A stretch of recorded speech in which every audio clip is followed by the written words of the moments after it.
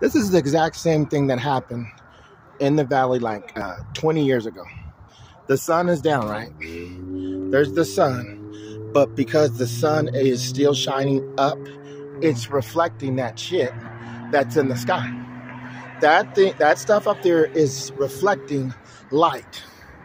The thing that the thing that crossed the valley, come all the way over there, came from all the way across the valley and went all the way, and then it kind of just went toward that star out there. Or is that Venus? Is that Venus, you guys? That ain't Venus. But that thing also is reflecting light. Because look, like ravens, ravens wings reflect light. And we're out here chilling. There's the sunset. AV High Desert, which they said this place was sacred. You know, the Indians and shit, they said this place was sacred. And they come up here for spiritual whatever. And like I said, this is the aftermath of whatever flew across the valley. And it's consistent with what happened to me or what I saw 20 years over the San Fernando Valley. And that's the 11 bus.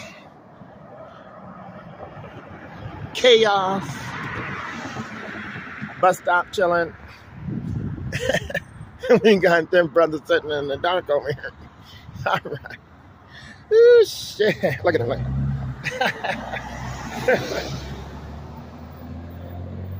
Coming from 7 Eleven. Where's the 7 Eleven at? Woo.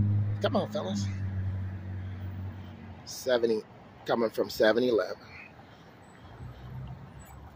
And I actually came here to get some uh, earthquake.